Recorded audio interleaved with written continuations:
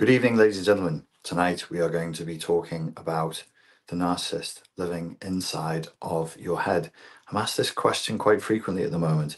First of all, let me say thank you to everybody who joined me at the London seminar, uh, just gone on Sunday. Really nice group, really, really good day. And um, I enjoyed it. I enjoyed it a lot. We had some good back and forth, some good discussions. I learned a lot by doing it, which is always a useful experience. But there is um, a recurrent theme that I'm hearing a lot from people, which is points to the essence probably of why narcissistic abuse is so painful and so difficult to recover from. And it's to do with this issue of the colonization of the mind. The sad fact of the matter is, is that the narcissist will continue to live inside of your head, even if they die, even if um, you split up with them and you get with somebody else, unless you take steps to stop that from happening. And these steps need to be quite specific. They have to address the core structure of the narcissistic relationship and they have to permit you to deconstruct that core structure so that you can get on with the rest of your life. It's hard to describe this without using psychoanalytic language and psychoanalytic theory, but I'm going to try. It's not enough for me to say to you that the narcissist's voice will continue to speak inside of your head. Um, it's worse than it's worse than that. It's actually that the narcissist's intentions for you will continue to play out even after the relationship has ended, which is why there's a pattern in some people's lives, it's certainly true in mine, where you can rebound from one narcissistic relationship to the next one because this impulse, this voice that is more than a voice, it's sort of an intention, continues in you unless you remove it. I'm not I'm not going to use the psychoanalytic language. I'll say it's something like this. There are parts of our minds that are designed to um, internalize people and to run a simulation of, of people talking to us and even their intentions for us. And that makes sense. That's that's good. That seems to me to be a positive and intelligent evolutionary adaptation because when I'm born into the world, when you're born into the world and you really don't know anything, um, you need instruction. You need instruction on how to live your life. And so there's a part of your mind that we could say that takes instruction from others and then repeats those instructions. But in order to do that, it internalizes that person. So if you have a person in your life, um, say when you're a child, and they are a good guide for how to live your life, and this person is called Friedrich. Not after anybody, for no reason. He's just randomly called Friedrich and he has a big droopy walrus mustache. you wouldn't want that as an internalized introject. Um, and he gives you good advice. And largely speaking, you accept him as a powerful and authoritative figure in your life. And you internalize Friedrich you internalize his voice, his messaging to you, and you also, and this is the, the bit that's kind of a little bit hard to explain to people, you you internalize his intentions for you. So if Friedrich's intentions for you are that you grow up to be a healthy, happy uh, boy, healthy, happy girl, you're going to grow up into a healthy, happy man, a healthy, happy woman, and to the best of his ability, with all due sincerity, without perfection, Friedrich does all he can to instruct you in a way, instruct you in a way that is genuinely helpful, to move you towards good, to move you away from bad, to encourage you to think for yourself, to be resilient, uh, to know when it's time to be cynical and, and realistic, and to know when it's time to be a little bit more utopian and idealistic, and to apply these polarities with wisdom. And you internalize that, you would have a good inner voice with a good internalized intention for you. When you have an abusive parent or a negligent parent or a negligent authority figure in your life, um, you internalize a simulation of them and their voice, what they say to you, what they tell you is true about you, and what they tell you is true about your life continues to resonate inside of you. Their instructions continue for you, but so do their intentions. When you are in a relationship with a narcissist for a prolonged period of time and you you you grow very close to them, you blend with them, you build rapport with them, your boundaries soften towards them.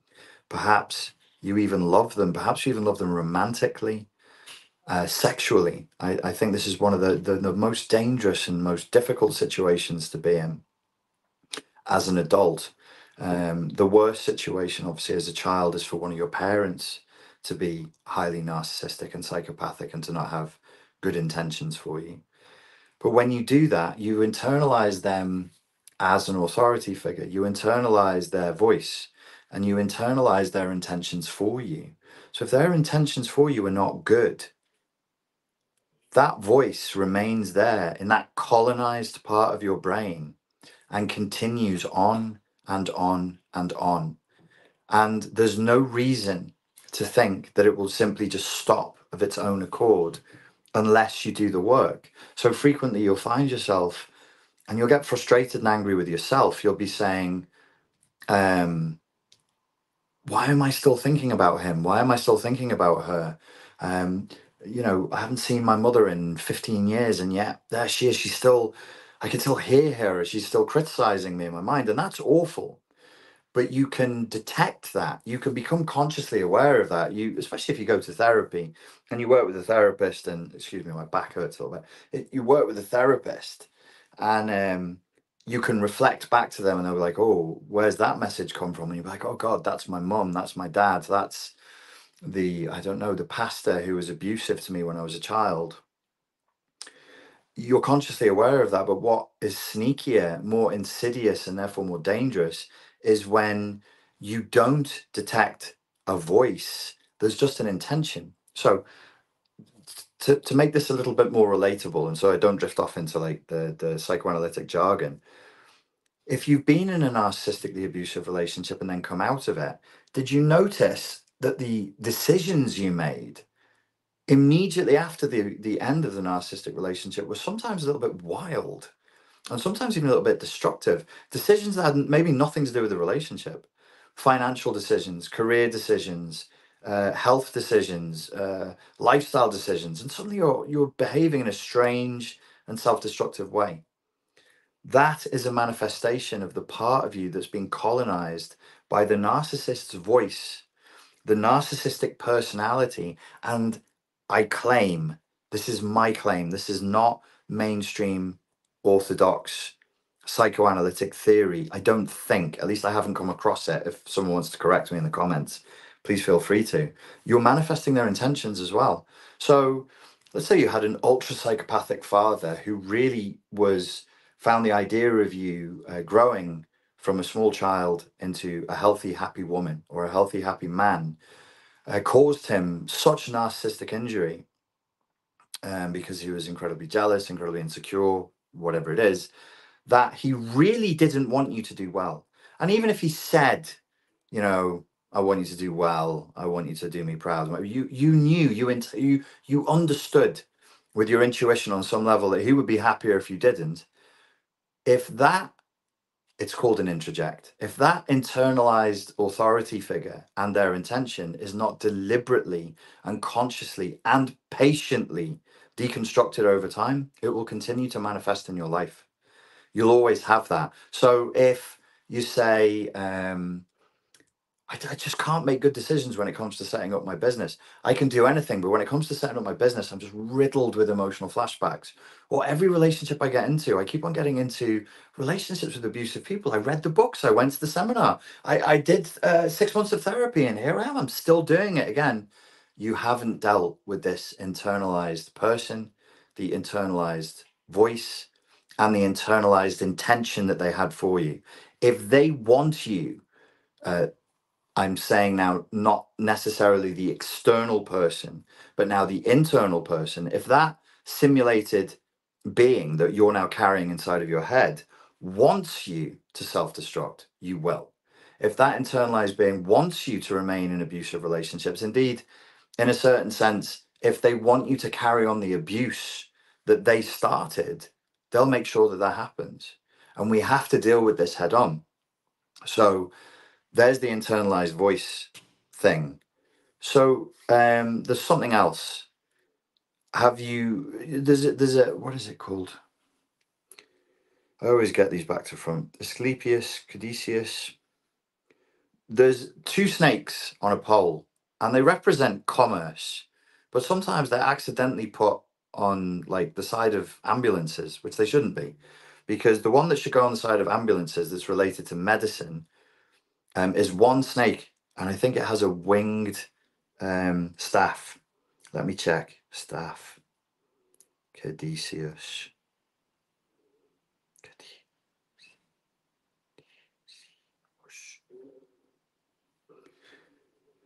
Yeah, the Caduceus. The Caduceus. Caduceus is the staff carried by Hermes in Greek mythology and consequently by Hermes Trismegistus in Greco Egyptian mythology. Very important magical symbol. And this is the one with the wings on it. This one. Okay, so there's two snakes. Look at this. Look at this. Internalize this. It's actually supposed to represent commerce. It's not supposed to represent medicine. The medicine one is uh, one snake. And it's the staff of, it's the rod of Asclepius. There's two snakes inside of you. When you are recovering from narcissistic abuse, there are two battling snakes around this staff, as it were, which is your, let's say the staff represents your sovereignty. Let's say the staff represents your capacity to base yourself and to reach up into higher realms from the floor. The staff, you know, between heaven and earth, there's this phallic uh, uh, Freudian staff sticking upright proudly and what's controlling the direction of the staff are these two snakes. What am I talking about? Is this a suddenly become a YouTube video about magical symbology? No. I want you to have a symbol inside of your head to understand why narcissistic abuse is so painful. So let's put that uh, to one side for one second. The staff with two snakes, put it to one side. You have internalized voices. They're from authority figures and they carry a message, they have words, and they have an intention. When you are recovering from narcissistic abuse and you're exhausted all the time, you're always in emotional flashbacks, you're, you're obsessed with the idea of narcissism, you want the next redefined, redefined, redefined definition of what narcissism plus minus BPD with a dash of HPD and a side order of uh, uh, psychopathy looks like and how it manifests, and you're reading these books and you're watching these YouTube videos, that's actually a manifestation of the of the sickness of being bitten, of being poisoned. And the poison, when it bites you, it sets off an internal battle. So there are now two internal voices that are battling for your sovereignty, for your capacity to connect between earth and heaven, which, if you like, it would just be a metaphor for, say, your purpose, or your philosophy or your morality or your uh, your spirituality your connection with with god your connection with um, christ consciousness with buddhahood or or whatever you believe. Who are these two snakes? Who are these two poisonous snakes that are battling inside of you? These are to use the psychoanalytic theory language battling superego injunctions the narcissist has effectively split you down the middle and poisoned you. There are two poisonous snakes at war inside of you. And there it's a fight. And I say this um, uh, advisedly, carefully, and I can back it up. It's not vaguely a fight between good and evil. It's actually, verifiably, a fight between good and evil, as in your individual sense of right and wrong. So these two snakes have poisoned you, they're fighting, and they're battling for control of your sovereignty. And it is a battle for good versus evil. So when we take on authority figure voices as children in our lives, they're guiding us based on a map. And their map is either moving you towards good or it's moving you towards evil. So let's say, for the sake of argument, because I don't want this to be an ultra long uh, YouTube video, it's not. I have a philosophy channel. It's called Richard Grannon Philosophy. If we wanted to try and like unpack that, let's just keep it really simple. Here, good is healthy and life affirming. Here, bad is um, unhealthy and life denying. Simple. That's a nice little. We just use that as like a, a, a yardstick, seeing as there's so many sticks in our minds now already. And what's this battle between? What do you mean it's a battle between good and evil? It's a battle between good and evil. It's an internal jihad between your sense, you, not the world sense, not the world sense. Now, this is tough. This is, we'll do this a little bit philosophically. It's not what is out there that counts at this moment in this battle. And this is very tough. And so you can create a pretty strong case that when you are bitten and poisoned in narcissistic abuse, you're in a spiritual battle you might not have a spirituality. You might not be a, a, religious person at all. You might be a diehard atheist. Don't care. It's happening. Why? Because of something called moral injury. You've experienced a moral injury. And now you need a moral resolution, not a psychological one. The psychology will help, it will for sure support you. But you'll never put this battle down.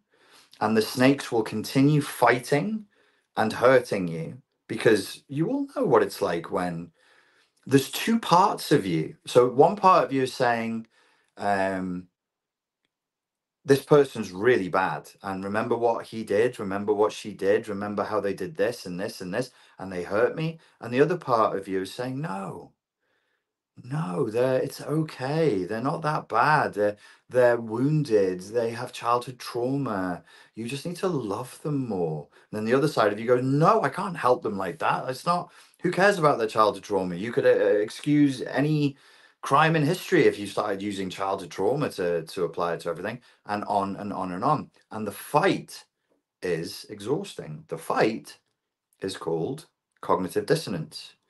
I see gaslighting online has come to mean lying, which is incorrect. Everybody here knows what the correct meaning of gaslighting is.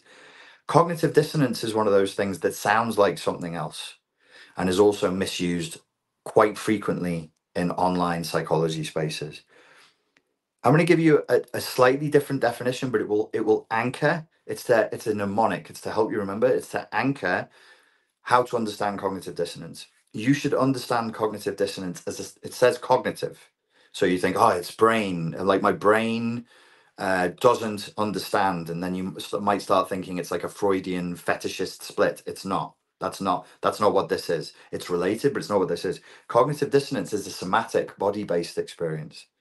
It's called cognitive dissonance, but it's actually I don't know. Maybe we should call it somatic dissonance.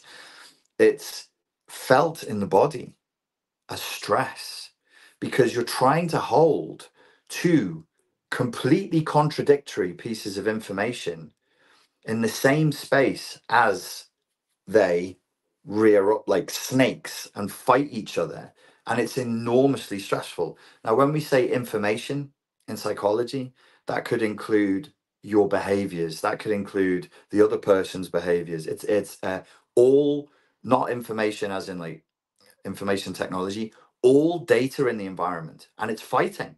So you're experiencing this tremendous cognitive dissonance, which is enormously stressful and goes on for far too long. And guess what happens? You start to get physically sick. And then the immune system disorders start showing up. You don't sleep. You either gain a lot of weight or you lose a lot of weight. Um, you start developing allergies that you've never had before. All of this was true for me uh, and, and a whole host of immune system related disorders crop up because your system is constantly on high alert trying to win this battle and you can't move on until this battle is resolved how is it resolved you have to resolve it morally you have to resolve it philosophically you may have walked into this relationship being like i don't really care about philosophy i don't really care about spirituality. Bleh, I just thought they were hot and like, yeah, it's cool. Doesn't matter because now you're in it. Now you're in it. So there's only way. There's only one way out. You're going to have to develop a moral philosophy. I've been saying this for years, and it, it, I just watch people's eyes just glaze over when I say it. They're like, "Oh, this sounds really boring." It's actually really, really easy. It's really quick, um, and the more you practice it, the easier it gets. You're going to have to to decide on your own, not through the world. No church can give you this. No imam is going to give you this. No book will give you this. You decide, and then you live it if you don't decide and you don't live it, you're never going to recover. You're never going to recover. You decide what is good, you decide what is bad. You decide what is acceptable inside of a relationship, you decide what is unacceptable inside of a relationship, whether it is career, whether it is friends, whether it is romance, whether it is family, and then you stick to those boundaries. That's the only way the cognitive dissonance is going to be resolved is if you can resolve the issue of the moral injury. Is what they did wrong or not? If you can say, finally, with a calm heart, not out of rage, not out of anger, not out of your own ego and narcissistic injury, it is wrong to do that to people. It's very simple. This is wrong. And then you can live in accordance with that decision and accept that it was wrong. It's a lack of acceptance that keeps people trapped in narcissistically abusive relationships. Ironically enough, some of the least egoic people in the world will be trapped inside of narcissistically abusive relationships because of ego, because we stay stiff, we stay stubborn, we stay egoic. No, no, no.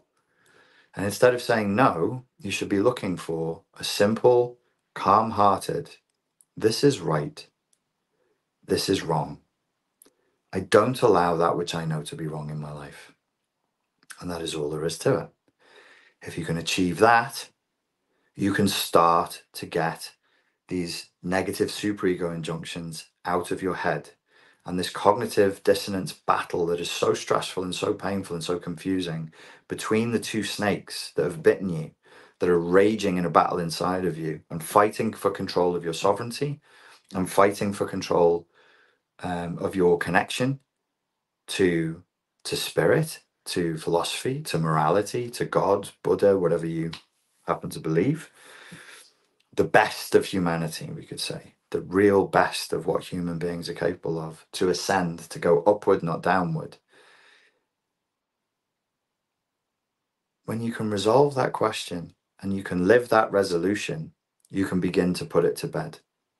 And then the narcissist will not be able to live in your head anymore because when their foolish injunctions, their foolish words and intentions show up in a morally ambivalent vacuum, which most of us live in, don't be embarrassed. Like everybody, like what, what's, which part, when was the last time you watched a TV show that was like, hey, everybody, let's just sit around and philosophize for an hour and a half about what's right and wrong? I mean, those TV shows exist, um, but they're usually on religious channels and very few people watch them because they're usually watching multimillionaires with plastic surgery butt cheeks instead because that's what humans actually really like is multimillionaires with huge huge ass cheeks.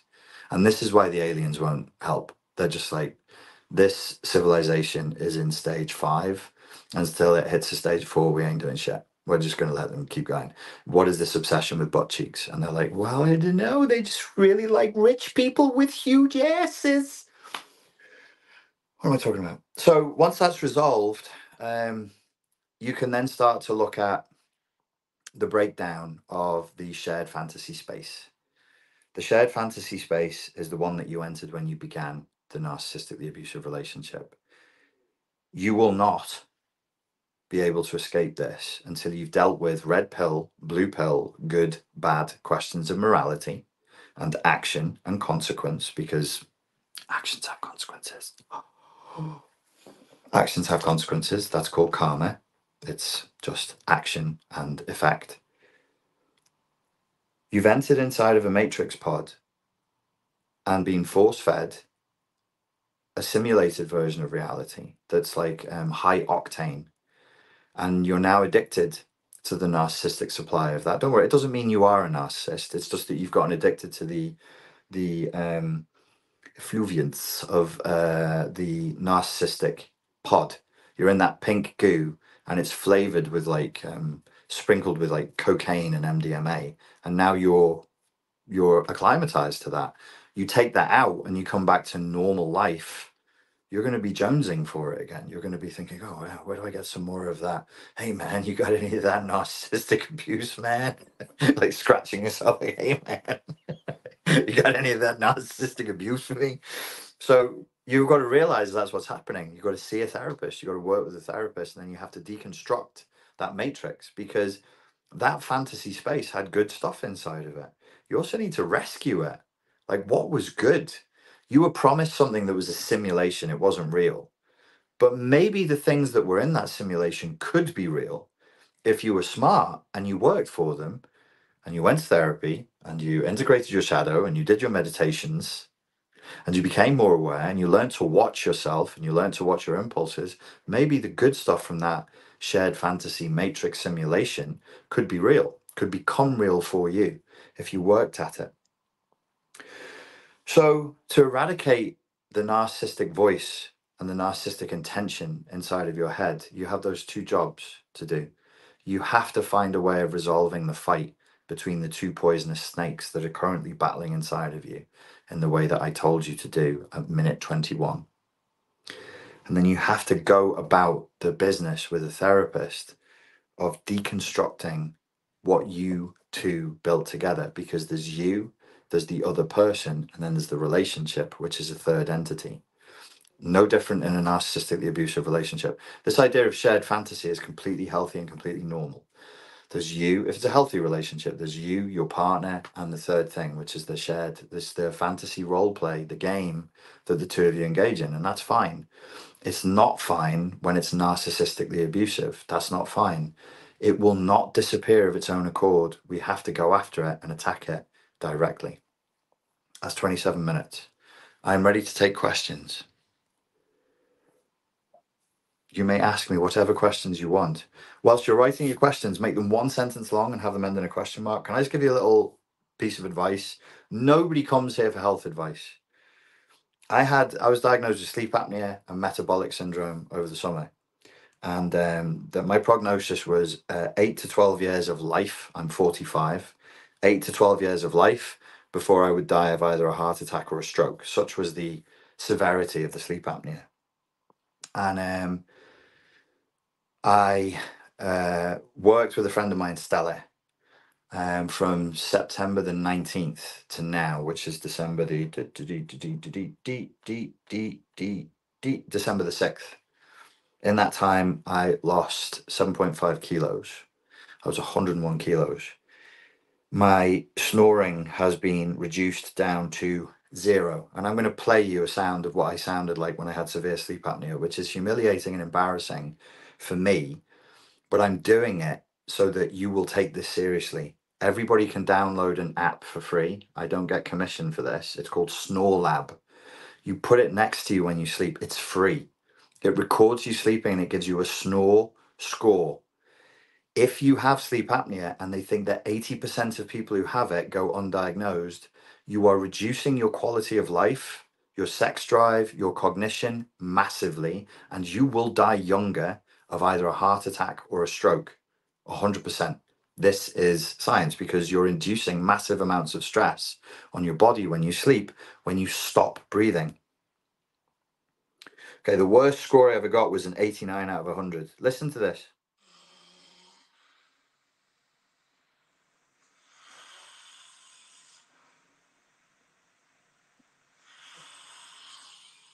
that is not a sound of a healthy man asleep. There's so there's really really bad ones here where I, where you can hear me fighting for breath. So I'll go.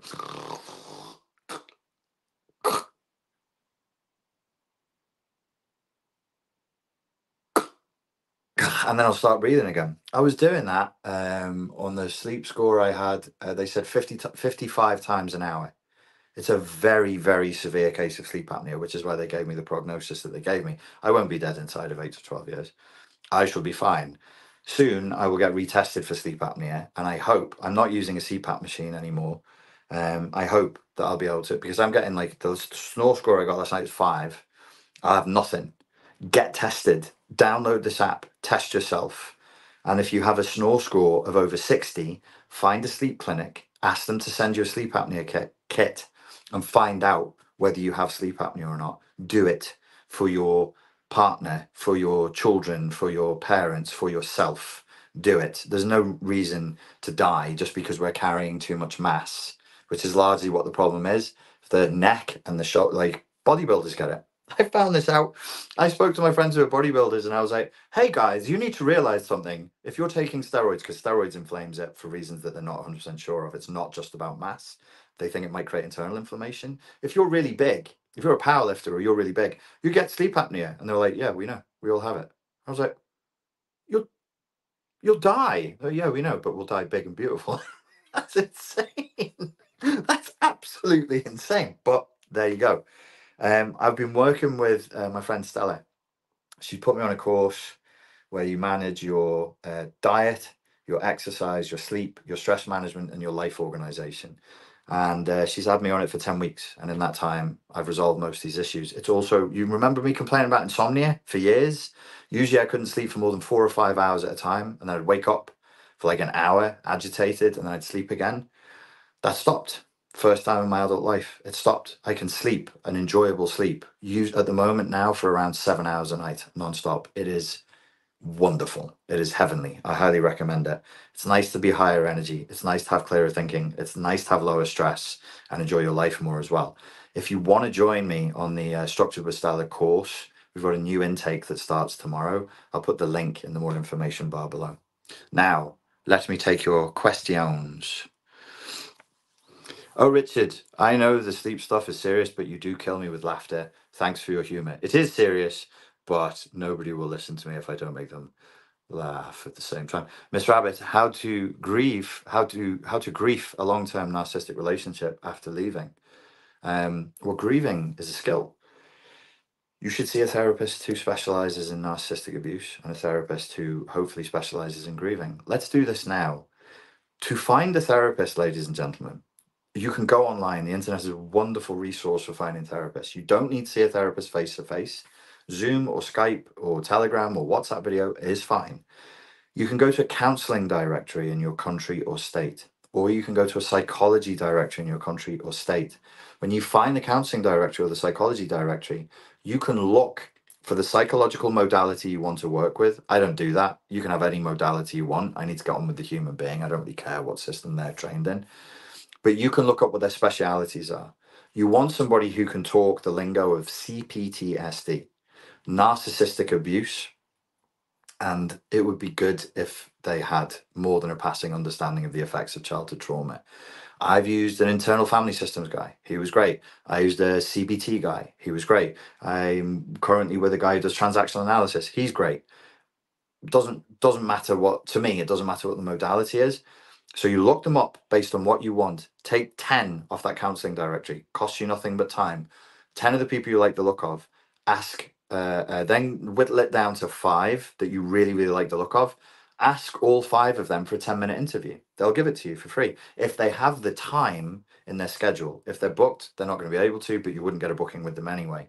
If they have time in their schedule, they'll easily, happily, most counselors and therapists will give you a 10 to 15 minute interview. You just say to them, like, I just want to see if I get on with you. And can we chat for like 10 minutes, just maybe over the phone or on Skype? And then work with the person you felt the best connection with. Do find a therapist. Do go to therapy. It will help you. Um, so, grieving is something that you're best off doing with a therapist. The long term narcissistic relationship, I recommend that you follow the advice that I gave earlier in this video that will be re-uploaded after I finish um, and that you do work uh, to deconstruct the narcissistic uh, uh, matrix simulation fantasy that's been created between the two of you. I have a course that teaches you how to do that. It's called Unplugged from the Matrix of Narcissistic Abuse. It is not an easy course. And in fact, it's probably best done with a therapist There is an easier leading course called Break Narcissistic Possession, which anybody can do at home. Most of the the thick end of the wedge of the um, work of the course, you just listen. You listen and you follow along to the audio exercises. So that's a good way to get started with that as well.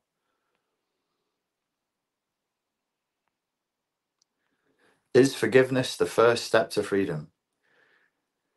Uh, humility, humility, um, confession. You know, saying like I maybe made a mistake here, or maybe was trying to do something that I couldn't do, um, and then forgiving yourself for sure.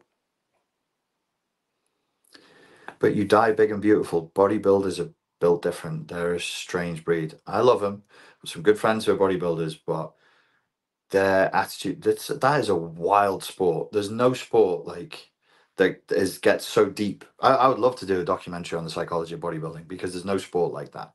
There's no sport that's so invasive in every single part of your life. Um, you know, your sex life, your diet, your your sleep patterns, everything, everything, everything has to be on point. I used to laugh at these guys. Don't tell them because they'll hurt me, um, because they're bigger than me. But when I was doing martial arts, I'd be like posing in your little pink pants. What's that all about? Real men just punch each other in the skull. Yeah, that didn't work out too well for me. I'm sat here with what's it called? I can't remember what it's called. A TBI, traumatic brain injury, multiple skull fractures, and a split bag around my brain. Massive uh, stroke risk. I wish I'd done. I wish I'd done bodybuilding now, but it's it's such a it's such a hard sport. It's such a tough sport that they're, that they're engaged in. Uh, hi, darling. Ew, no, please. Don't speak to me that way.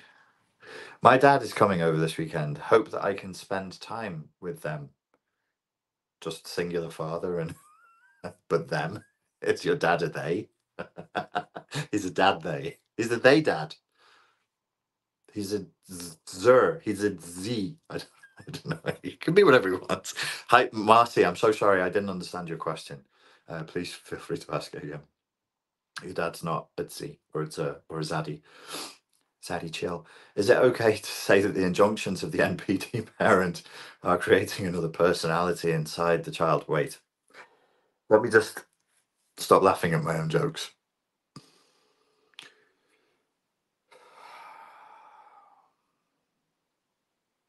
I am a mature, responsible adult.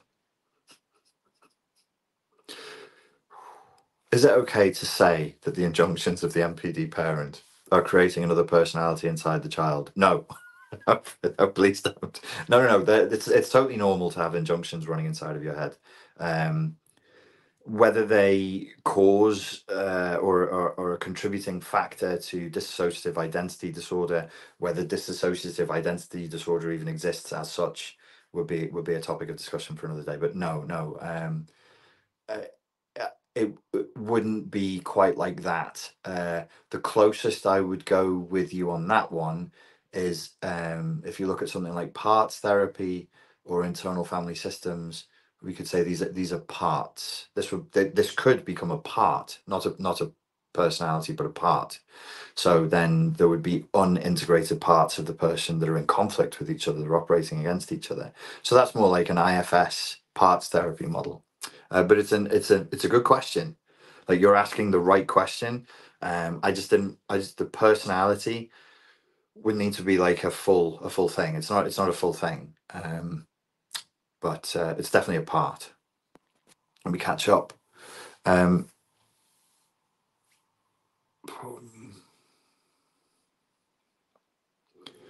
comment. Okay. Yasmin says forgiving doesn't remove negativity from you. How is not forgiving the abuser negative? Shake my head. You can accept what happened and move on. Doesn't mean you have to forgive the abuser. I didn't say you have to forgive the abuser. Oh, I said you have to forgive yourself. My back. Oh. Um, just found your channel, says Liberty in Trust, who sent me $5. That's very kind of you. Uh, you're preaching truth. Carry on and continue. You're aiding, helping everyone. Thank you. That's very kind of you, Liberty Trust. I appreciate that. Thank you. Um, I'm just happy to see your videos, Richard. You're a real one. Appreciate you. Gracias, Anonymous. Gracias. Which course would you recommend to start for abuse recovery?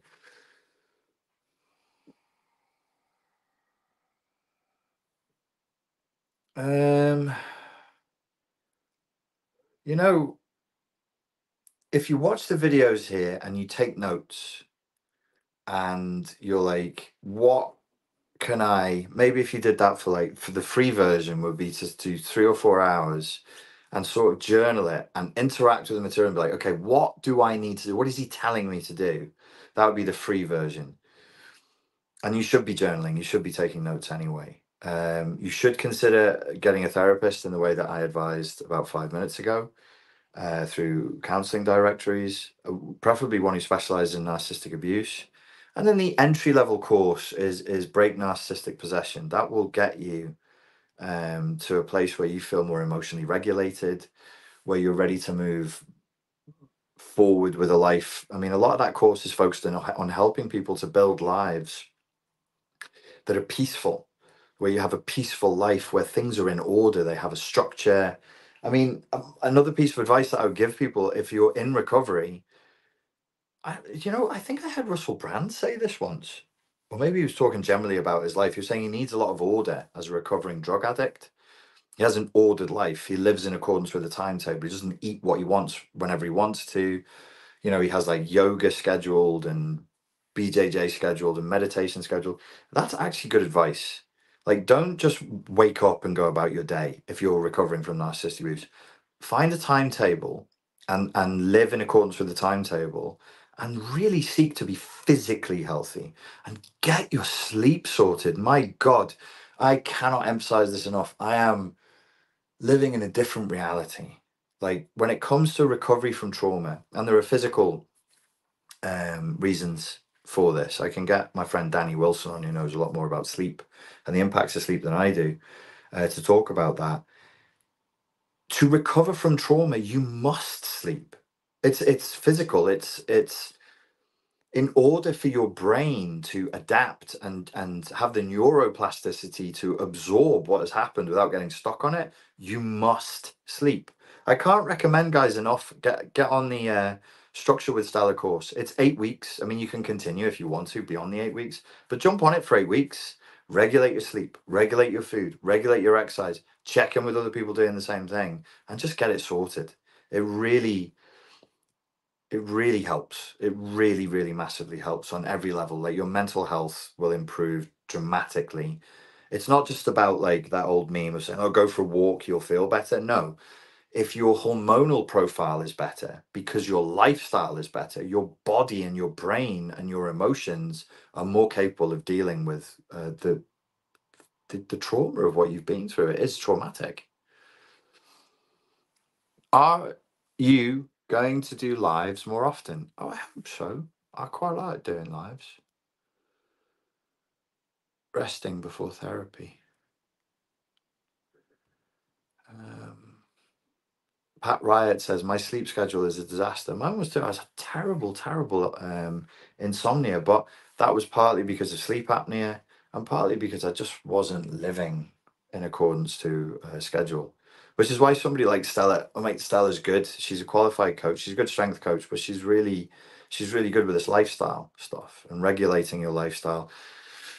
She's really strict. Like she's super disciplined with herself. So she'll check in with me every day. She's like, "How's your sleep?" I'm like, I, I slept for seven point five hours last night. Is that okay? Mm.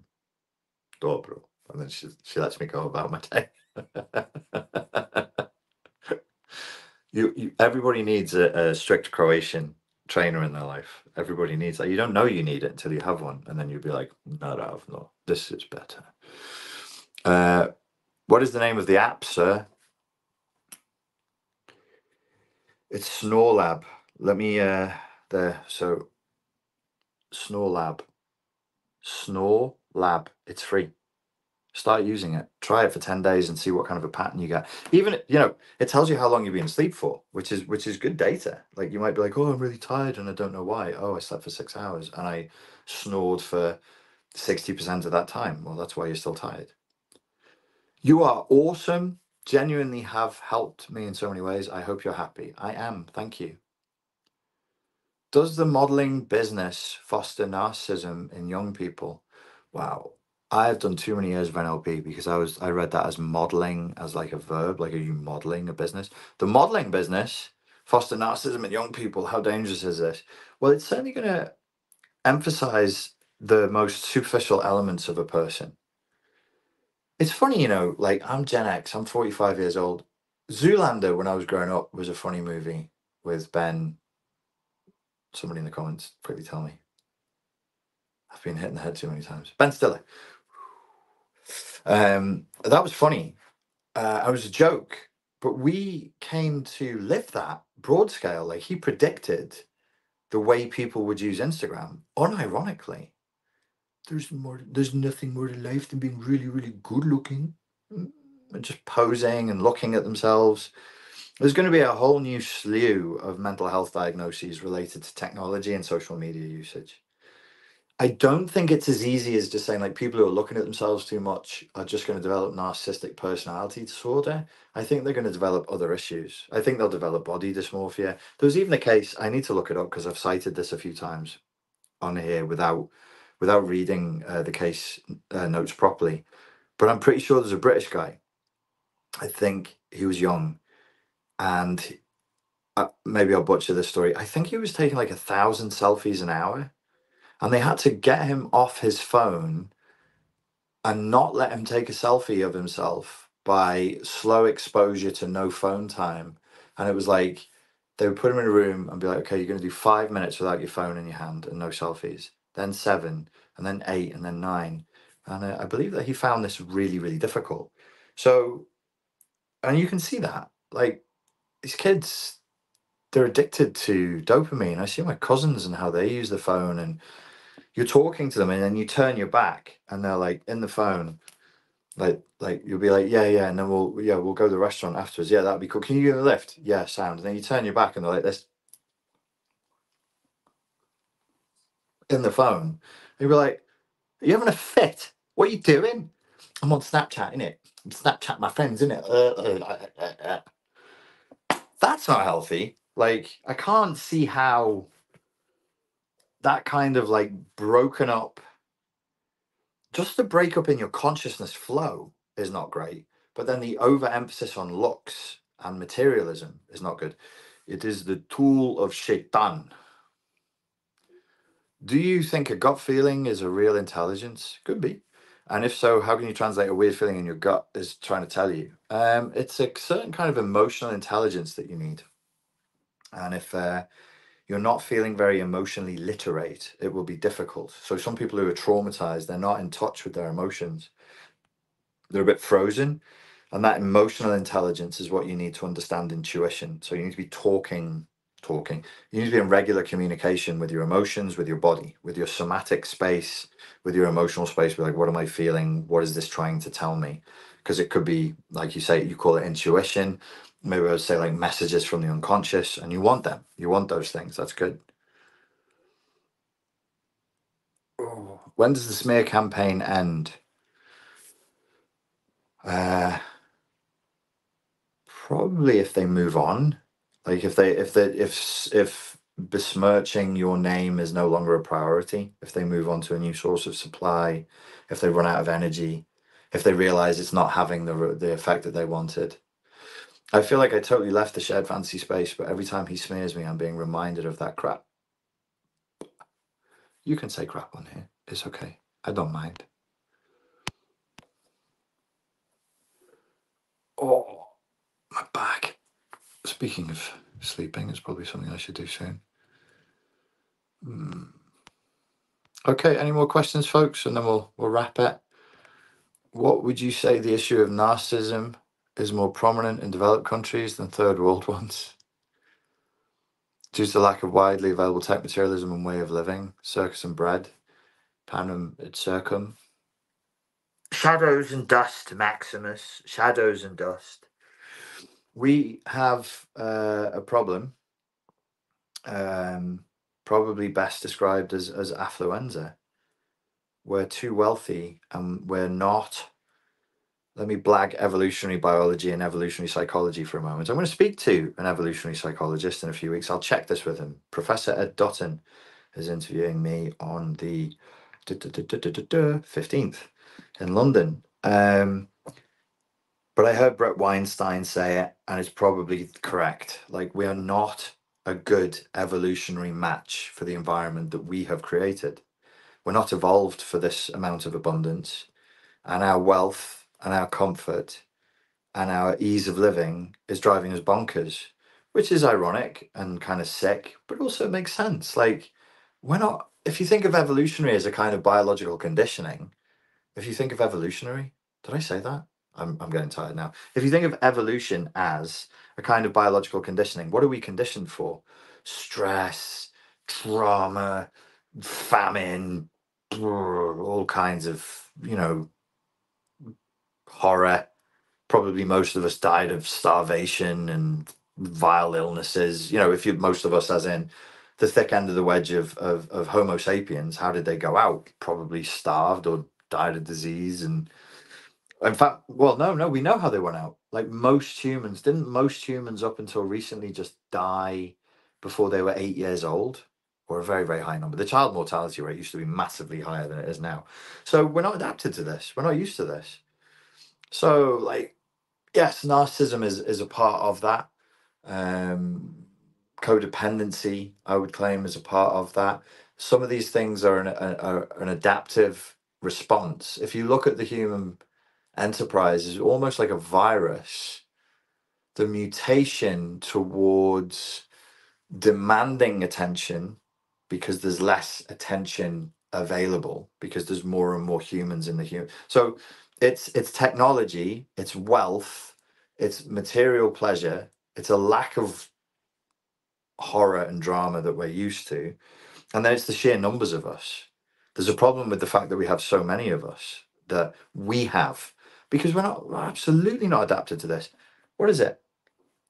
Our population exploded from 1 billion to 8 billion between the writing of the Communist Manifesto by Karl Marx in 1850 to today.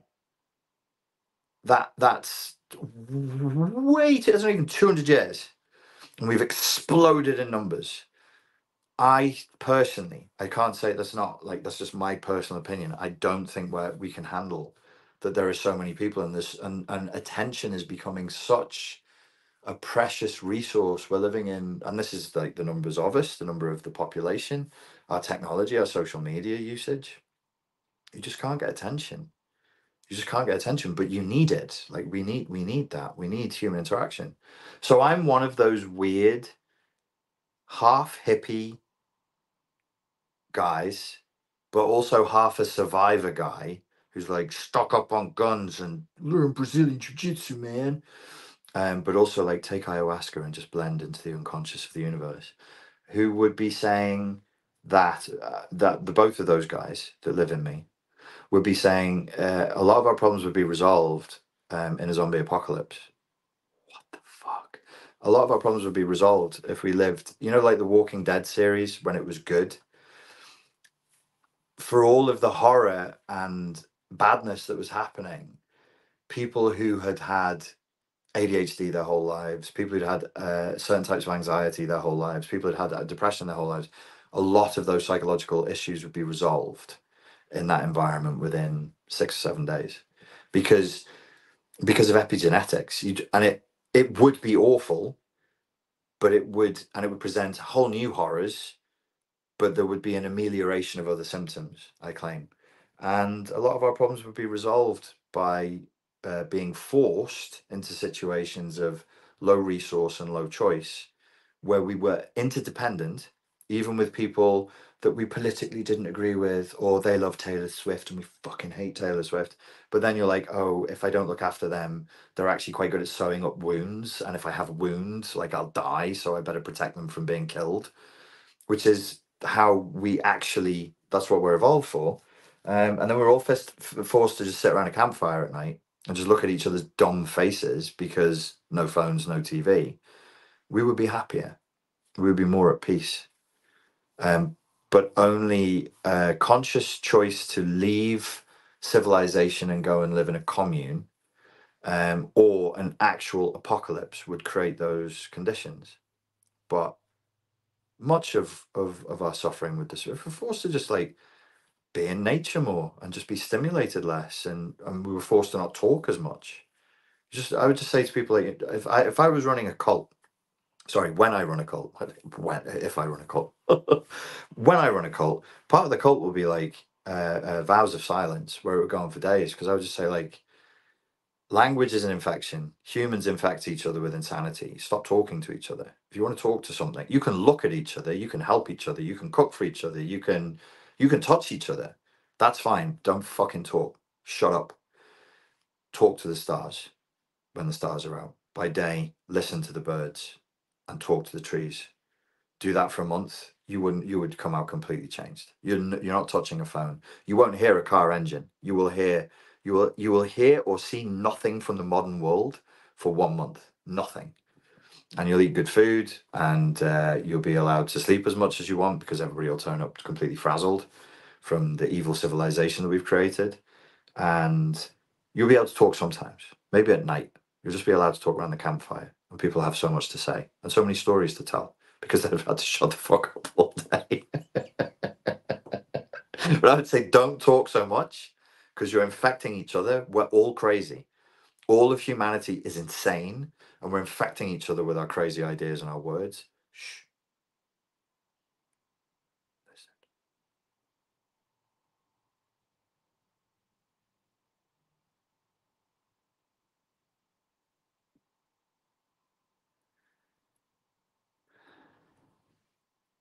That's the sound of sanity. Ladies and gentlemen, thank you very much for your time and for your attention. I look forward to speaking to you again very, very soon. If you want to join us, Strong with Stella, you can start that. Well, we're starting tomorrow, a second intake, but we'll take people on for the next four or five days. But jump on it and get into good shape over Christmas and then come out January the 1st. Like, look at me. I'm in amazing shape and sleeping well and feeling good and high energy and all of that good stuff. Thank you very much. I look forward to speaking to you again very soon. Cheers.